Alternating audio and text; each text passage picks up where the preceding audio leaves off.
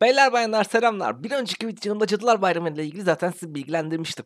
Bu Cadılar Bayramı'nda da hani demiştim ya bedava eşya alabiliyoruz ama bunu oyun içinden değil siteden yapmamız gerekiyordu. Şimdi onu da kısaca size aktarayım dedim. Bazı yapamayan arkadaşlar çıkabilirdi. Ya Aslında çok basit ama yine de bir dakikalık videoda size aktarayım yardımcı olmaya çalışayım dedim. Bunun için ne yapıyorduk arkadaşlar? Texas Chainsaw sitesine giriyoruz. Texas Chainsaw sitesine girdikten sonra karşımıza Reveal the Face of Madness gibi bir yazı çıkıyor. Alt bilgisayarınızın sesini açın diyor. Dolayısıyla bilgisayarın sesini açın ama açmadan önce, ilerlemeden önce de uyarayım. Bu site özellikle artı 18 diyeyim ama artı 18'de kafanız başka yere gitmesin. Korkudan kaynaklı artı 18 arka plandaki ses küçük arkadaşlarımızı etkileyebilir. Ben baştan uyarayım. Ben rehber videosu hazırlıyorum. Eğer izleyen varsa izlemesin. Rahatsız olabilecek varsa izlemesin. Sesimizi de açtık. Ondan sonra proceed dediğimizde izliyoruz.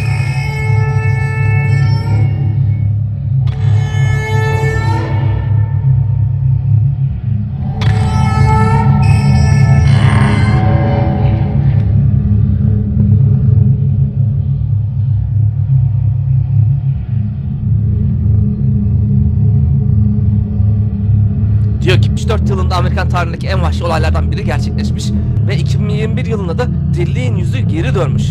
Altında da Save Your Skin yazıyor arkadaşlar. Buradaki skin aslında operatör skini, silah skini gibi düşünebilirsiniz ama aslında öyle değil. Şeye gönderme gerçekten deriye tene skin biliyorsun sen demek. Ona bir gönderme buradaki. Save Your Skin'e Save Your Skin'e tıkladığımızda da buraya bir e-mail adresimizi yazmamız gerekiyor. E-mail adresimizi yazdıktan sonra da alttaki Submit'e tıklarsak 2 hafta süre içinde şu müziği de kapatayım artık. 2 hafta süre içinde bize göndereceğini söylüyorlar. Bu Call of Duty içindeki eşyaları.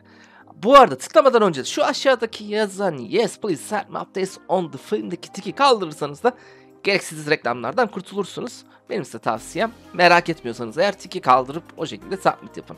Evet bu da bu kadar arkadaşlar. Eşyalar gelince tekrar bir video çekmem.